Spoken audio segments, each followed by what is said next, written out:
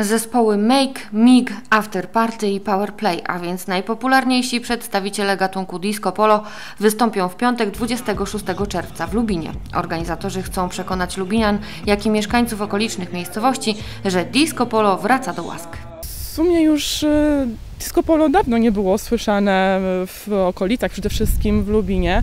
Jest to muzyka bardzo dobrze wszystkim znana, choć e, tak naprawdę e, wszyscy ukrywają, że jej nie słuchają, to wszyscy bardzo dobrze znają. Druga odsłona Dni Lubina nie będzie już tak jednorodna. Najpierw dla dzieci wystąpią Kulfon i Monika, następnie na scenie pojawi się zespół Tribute to Amy Winehouse, potem kapela Domowe Melodie. W programie znalazły się także koncerty rapera Sokoła i Marysi Starosty, Krzysztofa Krawczyka, a na koniec wystąpi Paweł Kukis i Piersi. Wszystkie szczegółowe informacje na temat artystów i występów oraz y, program imprezy będzie dostępny na profilu facebookowym Dni Lubina. Serdecznie zapraszamy. Impreza odbędzie się tradycyjnie na lubińskich błoniach, wstęp jest bezpłatny. Zapraszamy na baseny. Centrum 7. Rezerwacja telefoniczna 746 56 10. I Ustronie 4. Rezerwacja telefoniczna 76 846 08 27.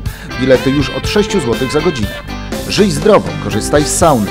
Tylko 50 groszy za minutę. Dostępne godziny wejść oraz inne informacje na www.rcslubin.pl. Odwiedź nas na Facebooku.